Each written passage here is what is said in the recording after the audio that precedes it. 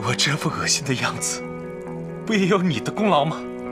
是你一遍遍的提醒我，我就是个连名字都没有的替代品，我连喜欢的资格都没有。可怎么办呢？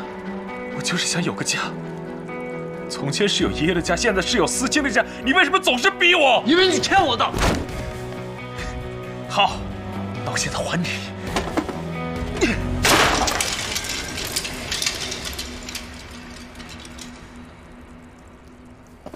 过去我跨不过去这种坎，是害怕失去他们。可现在，我还有什么？你个疯子！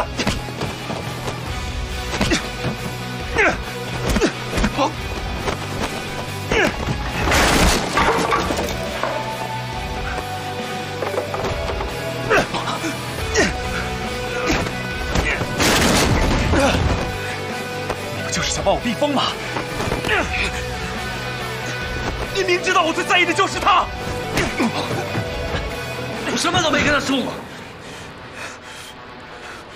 说什么都比不上亲眼所见。你猜他看到你现在这个样子，还会不会养你？